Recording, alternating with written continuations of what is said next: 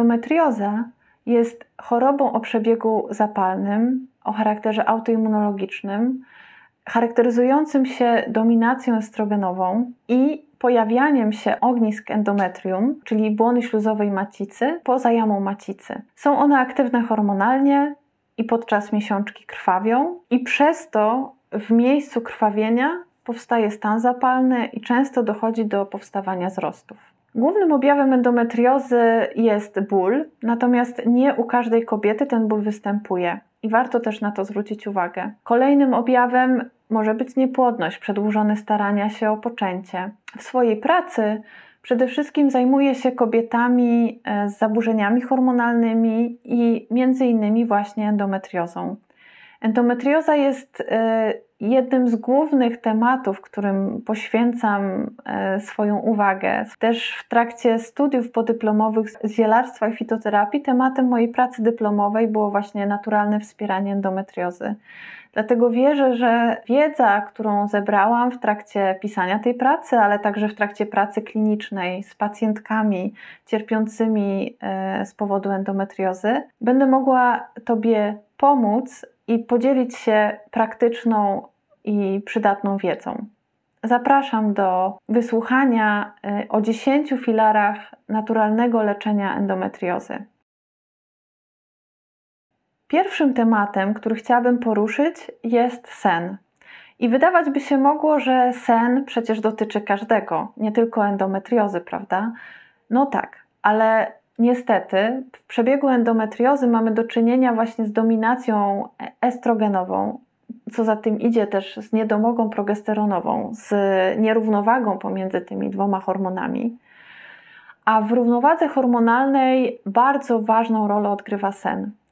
W przypadku kobiet bardzo ważne jest, aby spały między 7,5 a 8,5 godziny, żeby ten sen zaczynał się mniej więcej o godzinie 22.30. Dobrym pomysłem jest nastawienie wieczornego budzika.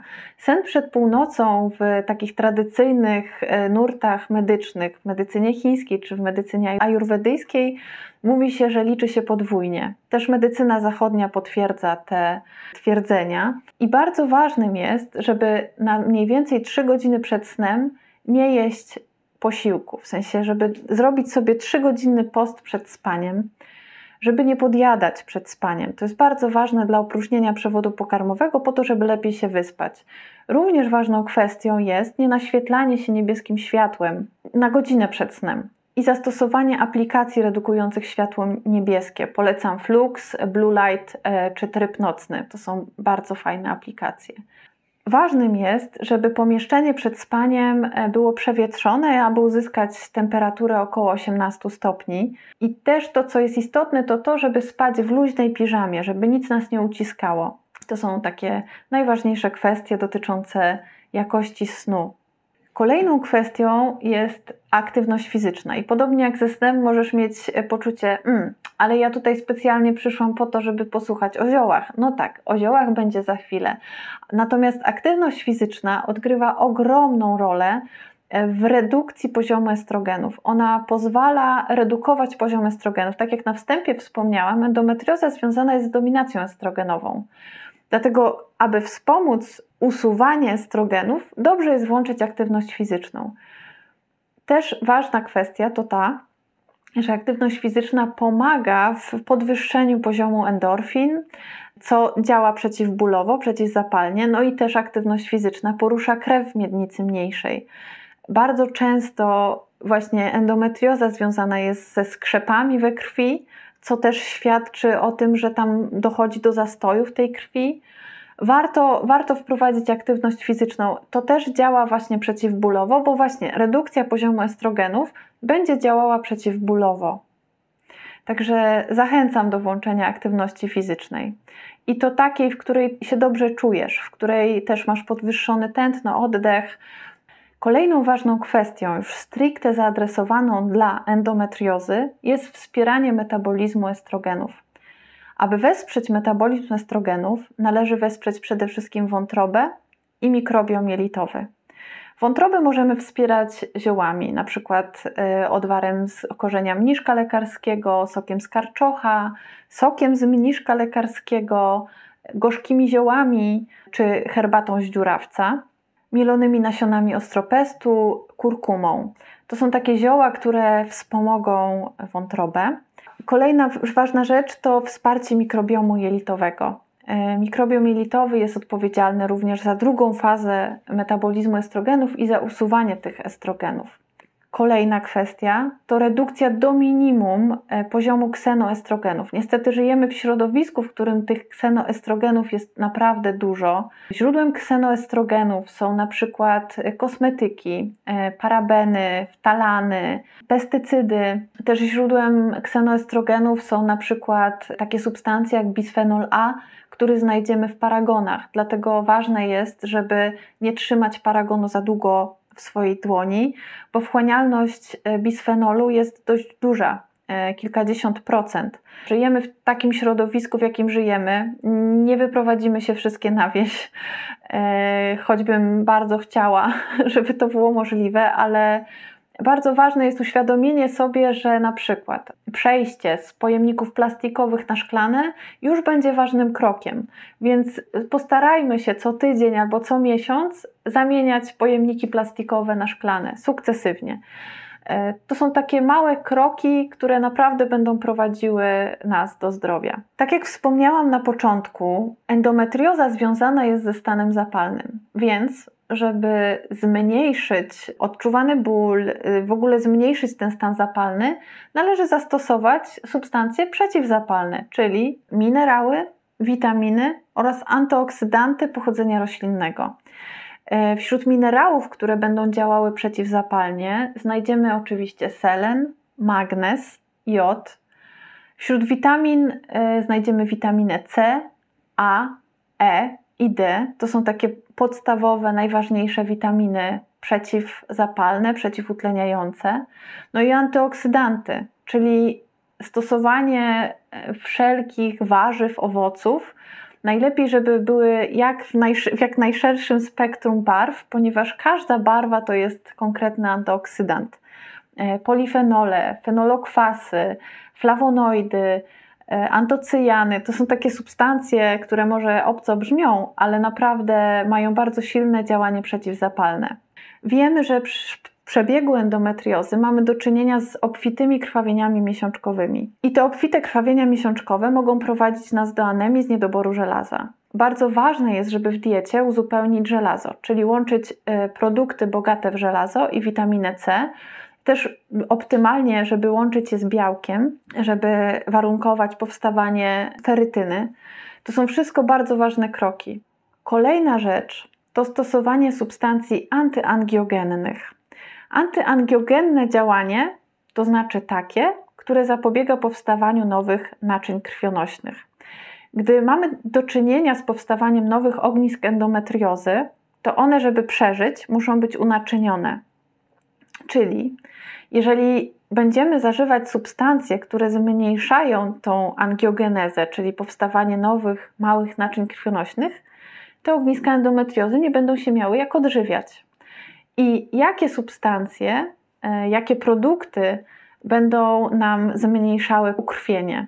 Zioła, które zapobiegają powstawaniu e, nowych naczyń krwionośnych, to m.in. dzięgiel chiński, aloes, rozmaryn, lukrecja. Bardzo ważne jest, żeby nie stosować lukrecji przy nadciśnieniu, e, na to uczulam, aby nie doprowadzać do powstawania nowych, e, nowych naczyń krwionośnych, aby działać antyangiogennie, niezbędny jest odpowiedni poziom witaminy D, selenu i kwasów tłuszczowych omega-3. Kolejna ważna kwestia to wspieranie procesu apoptozy. Apoptoza to jest programowana śmierć komórki. I w zdrowym ciele przy prawidłowo funkcjonującym układzie odpornościowym powstające ogniska endometriozy u zdrowych kobiet są usuwane właśnie dzięki temu procesowi apoptozy. Więc naszym zadaniem jest wspieranie tego procesu jak tylko się da. i dzięki temu przywrócenie właśnie równowagi i zapobieganie dzięki temu powstawaniu nowych ognisk endometriozy. Tutaj naprawdę możemy zadziałać przyczynowo samo źródło w ogóle tej choroby. To, co wspiera bardzo proces apoptozy, to zachowywanie higieny spożywania posiłków, niepodjadanie pomiędzy posiłkami. Ciągłe podjadanie pomiędzy posiłkami powoduje skoki insuliny. A skoki insuliny hamują proces apoptozy. Dlatego tak ważny jest e, post nocny, zachowanie postu nocnego, minimum 12 godzin e, postu nocnego i również zachowanie odstępów pomiędzy posiłkami i niepodjadanie. Optymalnie spożywanie 3-4 posiłków dziennie z zachowaniem 3,5-4 do 5 godzin pomiędzy posiłkami.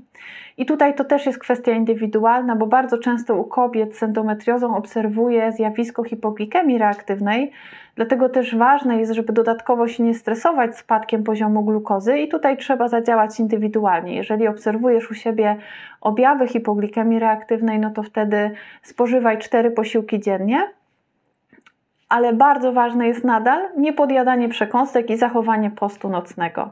Kolejną ważną kwestią e, jest przywrócenie równowagi prostaglandyn. Prostaglandyny są hormonami parakrynnymi, czyli takimi hormonami wydzielanymi lokalnie, które działają na tkankę macicy, zwiększając lub zmniejszając odczucie bólu. Prostaglandyny prozapalne e, PGE2 i PGF2 powstają z przemian kwasu arachidonowego. Ten kwas znajdziemy przede wszystkim w mięsie, e, w wątróbce, w jajach, w produktach odzwierzęcych, w nabiale. Bardzo ważnym jest równoważenie kwasów tłuszczowych omega-6 i omega-3. Najlepiej, żeby było w stosunku 1 do 1, a w przypadku endometriozy maksymalnie 1 do 2, 1 do 3. To, co możemy zrobić, to wprowadzenie tłustych ryb morskich, które są bogate właśnie w kwasy tłuszczowe omega-3, które właśnie, bo dlaczego omega-3 i kwas gamma-linolenowy są istotne? Bo one warunkują powstawanie prostaglandyny przeciwzapalnej, czyli PGE1, czyli takiej, która będzie zmniejszała poziom odczuwanego bólu, a naprawdę to działa przeciwbólowo. Bardzo ważna jest suplementacja kwasami tłuszczowymi omega-3 u kobiet z endometriozą, ale także stosowanie oleju z wiesiołka. U kobiet, które starają się o ciążę, dobrze, aby suplementacja e, oleju z wiesiołka przebiegała tylko w pierwszej fazie cyklu miesiączkowego. Kolejną istotną i bardzo praktyczną kwestią jest spożywanie ciepłych posiłków, zwłaszcza ciepłych śniadań. W 80-90% przypadków kobiet, które się zgłaszają do mnie właśnie z problemem endometriozy, jest z maryżluchami. I aby zapewnić odpowiedni, odpowiedni komfort termiczny u takich kobiet, dobrze jest wprowadzić spożywanie ciepłych śniadań. Też bardzo istotną i pomocną kwestią jest dodawanie do posiłków jak, w jak największych ilościach imbiru. Imbir ma bardzo silne właściwości przeciwzapalne, też często prokinetyczne, ale też ma działanie przeciwbólowe. I tutaj taki tip. Starty imbir, e, korzeń imbiru wielkości kciuka będzie na drobnych oczkach, mm, zalany wodą, taką letnią wodą, żeby też nie pić zimnego, zimnego płynu. E, właśnie na to też uczulam, żeby nie pić zimnych napojów, e, żeby pić cały czas ciepło, ciepłe, zaprzyjaźnić się z butelką termiczną, to bardzo polecam moim pacjentkom i to bardzo też pomaga.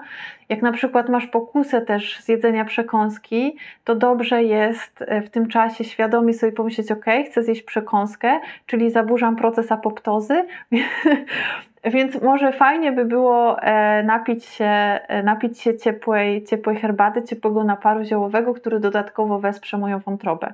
To już tak, taka duża dygresja, ale właśnie chcę, żebyś też myślała właśnie w taki praktyczny sposób na temat takich codziennych nawyków. Więc bardzo fajnym takim tipem w kwestii przeciwbólowej jest stosowanie korzenia, świeżego korzenia imbiru wielkości kciuka, startego na drobnych oczkach I wypicie takiej ilości imbiru, raz, że przyjemnie rozgrzewa, chociaż niektórzy, niektórzy, oczywiście, właśnie, to jest bardzo ważne, jeżeli masz podrażnioną błonę śluzową żołądka, no to oczywiście tego sposobu nie stosuj, e, no bo on będzie zwiększał ukrwienie tej błony śluzowej, więc jeszcze dodatkowo będzie wpływał na bolesność, ale to jest kolejna dygresja. Ale to, co chcę przekazać, to to, że właśnie mm, kawałek imbiru wielkości kciuka ma siłę taką jak 200 mg ibuprofenu. Nie zdaję sobie sprawę z tego, że przy bolesności w przebiegu endometriozy zastosowanie jednej tabletki ibupromu no to jest raczej e, mała pomoc. E, bardzo często w ruch idą niestety silniejsze substancje przeciwzapalne, przeciwbólowe, ale jakby samo stosowanie, takie przewlekłe stosowanie imbiru i stosowanie tych wszystkich metod, które do tej pory wymieniłam, może być ogromną pomocą w redukcji poziomu bólu. Dlatego uwzględnij to po prostu. Jest też jeszcze jedna bardzo ważna e, kwestia związana ze stosowaniem imbiru. Imbir naprawdę zmniejsza obfitość krwawienia miesiączkowego. Dlatego bardzo polecam. To jest jakby kolejna naturalna metoda, kolejne zioło, takie zioło, które jest dostępne wszędzie. No i teraz przychodzi pora na zioła. Trzy substancje naturalne, e, które możemy stosować e, w przebiegu endometriozy. Jako pierwszą substancję wymienię resveratrol, ponieważ on ma bardzo szerokie e, spektrum działania, adresowane naprawdę tak specyficznie e, w przypadku endometriozy. Resveratrol jest e, substancją z grupy polifenoli, jest bardzo silnym antyoksydantem. Występuje w rdestowcu japońskim, w winorośli, czyli w winogronach, E, czyli też będzie występował w winie, ale nie zachęcam do picia e, dużej ilości e, wina czerwonego, ponieważ musiałybyśmy wypić naprawdę dużo wina, żeby sobie zapewnić podaż odpowiedniej ilości resveratrolu. Występuje też w borówce czarnej, czyli w tej naszej rodzimej borówce. Więc bardzo, bardzo zachęcam też do spożywania borówki czarnej, która przy okazji też będzie miała dużo antocyjanów, czyli bardzo silnych antyoksydantów, substancji przeciwzapalnych. Resveratrol będzie działał przeciwzapalnie, przeciwutleniająco i przeciwangiogennie. Wspomniałam o działaniu antyangiogennym, e, czyli będzie hamował powstawanie nowych naczyń krwionośnych. To, co jest ważne, to on hamuje też wydzielanie cytokin prozapalnych. Wpływa też na indukcję procesu apoptozy, bardzo ważną kwestią jest to, że on zmniejsza aktywność enzymu aromatazy, czyli będzie też zmniejszał poziom e, estrogenów i też będzie zmniejszał aktywność cyklu oksygenazy drugiej, czyli powstawanie e, prostaglandyn prozapalnych. Kolejną naturalną substancją e, jest kwas gamma-linolenowy, którego najwięcej znajdziemy w pestkach ogórecznika, w nasionach wiesiołka dwuletniego i w pestkach czarnej porzeczki. I to, co jest istotne, to to, że właśnie kwas gamma-linolenowy bardzo wyraźnie wpływa na zwiększenie syntezy prostaglandyny E1, czyli tej prostaglandyny przeciwzapalnej, która będzie zmniejszała poziom odczuwanego bólu. Ostatnią substancją z grupy trzech naturalnych substancji wykorzystywanych w leczeniu endometriozy jest kurkumina, Wymieniam ją na końcu, ale ona ma naprawdę niesamowite właściwości związane z działaniem przeciwzapalnym, przeciwutleniającym, przeciwnowotworowym. Jest bardzo często wykorzystywana w chorobach ginekologicznych i w chorobach zapalnych e, pęcherza moczowego. Natomiast e, jej działanie jest przede wszystkim właśnie antyangiogenne. Ona też hamuje powstawanie nowych ognisk e, endometriozy i wspomaga proces apoptozy. Jak już wspomniałam, proces apoptozy jest y, bardzo ważny, ponieważ pomaga w usuwaniu tych ognisk endometrialnych, które już istnieją. Co więcej, kurkuma, kurkumina wpływa na zmniejszenie syntezy cytokin e, prozapalnych. Aby kurkumina lepiej się wchłonęła, warto łączyć ją z piperyną i z tłuszczem. Dziękuję Ci za wysłuchanie tego nagrania. Mam nadzieję, że bierzesz sobie z niego coś dla siebie. I pamiętaj, że wprowadzenie małego kroku, e, jednego, chociażby jednego małego kroku, będzie dla mnie ogromnym powodem do radości. Czy to będzie zastosowanie w większym stężeniu, w większym poziomie imbiru, kurkumy, oleju z wiesiołka, zadbanie o sen, jakikolwiek krok z tych, które tutaj podałam, wykonasz, będzie krokiem w stronę zdrowia, a to jest mój największy cel. Ja jestem zwolenniczką techniki małych kroków i gdy daję zalecenia moim pacjentkom, bardzo podkreślam, że to jest podręcznik, że one nie muszą wykonywać wszystkich kroków na raz. Zapraszam Cię do współpracy indywidualnej. Liczba miejsc do współpracy indywidualnej jest ograniczona. Informacje na temat współpracy indywidualnej znajdziesz na stronie cegielkowska.pl ukośnik konsultacje. Zachęcam do wyboru pakietu rozszerzonego, ponieważ to jest taki pakiet, który pozwala mi przedstawić w jak najszerszym kontekście postępowanie e, przy endometriozie. Natomiast dla osób, które nie dostaną się na konsultacje indywidualne, przygotowuję kurs online, na który już teraz Cię zapraszam. I jeżeli jesteś na mojej liście mailingowej, to znaczy, że otrzymasz informację jako pierwsza i będzie to najatrakcyjniejsza oferta, ponieważ zależy mi na tym, żeby kobiety wykorzystywały wiedzę o naturalnych metodach. Z Kokoro żegnamy się i mamy nadzieję e, do zobaczenia w kolejnych filmach, w kolejnych nagraniach e, i na kursie, na którym podzielę się z Tobą praktyczną wiedzą na temat naturalnych metod leczenia endometriozy. Do zobaczenia.